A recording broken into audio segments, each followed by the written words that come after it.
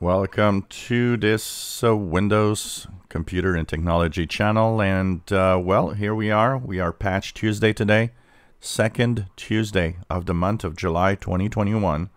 What that means, we have cumulative updates. And these are mandatory. They are cumulative updates for security. So it uh, they were just released a couple of minutes ago. So we will be, of course, looking at what is in here. We don't know yet what type of update and how important these updates are in um, Windows uh, 10. But, uh, you know, we've had some really big updates at times. And so that's going to be something we're going to check out, check out uh, later on. So if you want to know what's in those package of updates and what uh, how important this Patch Tuesday is, well, we're going to talk about it with details a little later. So now it's time to update your machines. It's very important. These are security updates. That means that these updates keep your system safe and make sure that everything is running fine.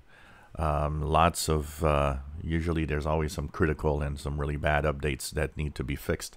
I don't know if these, uh, when we have more details a little later, it's going to be interesting to see if these actually fix one of the flaws that we had last week, which was the uh, Microsoft kind of half fixed the uh, PrintNightmare. So I don't know if they kind of have a better fix here in this one. Uh, it did break some printers, especially the Zebra branded printers so maybe this uh, will actually have a better update. We're going to anyways check it out in the details uh, once we have all of this released.